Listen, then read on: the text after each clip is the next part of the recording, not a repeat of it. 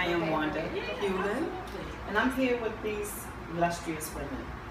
And we have been here with Dr. Lori, spending an afternoon with her to learn how to be and how to prioritize our lives to make us better women and to encourage us to be better women. It is always nice to have someone to be in your corner to coach you on your life's perspectives.